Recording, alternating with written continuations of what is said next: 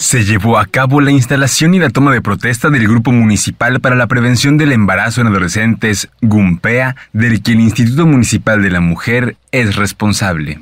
Con el objetivo de impulsar estrategias locales orientadas a la atención y desarrollo en este sector, el GUMPEA está conformado por diversas dependencias, locales y estatales, siendo además el primero que se instala en todo Nayarit. Entre los integrantes de este grupo se encuentran el Fondo para el Bienestar y el Avance de las Mujeres, FOBAM, DIF Municipal, Comisión Municipal de Derechos Humanos, las direcciones del Deporte y Seguridad Ciudadana, el Sistema Nacional de Protección de Niñas, Niños y Adolescentes, CIPINA, el Instituto de la Mujer en Nayarit, INMUNAI, y la Fiscalía Especial de Asuntos de la Mujer, entre otras como el Instituto Municipal de la Juventud y el Instituto Municipal de Arte y Cultura. A través del GUMPEA se pretende posicionar en la agenda municipal el tema del embarazo en adolescentes y así generar las acciones prioritarias para el municipio de Bahía de Banderas. Este grupo se instaló luego de una solicitud que le hiciera el FOBAM al Instituto Municipal de la Mujer, InMujer,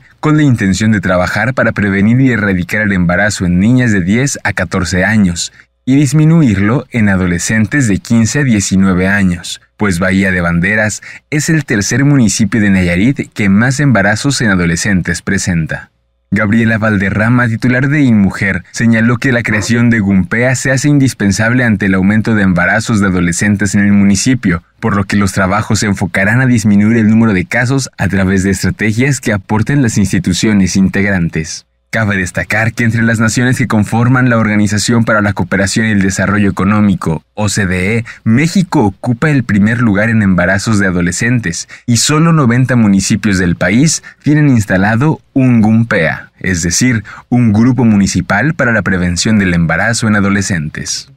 Con información del Ayuntamiento de Bahía de Banderas para UDGTV, Canal 44, Enrique Telles Nava.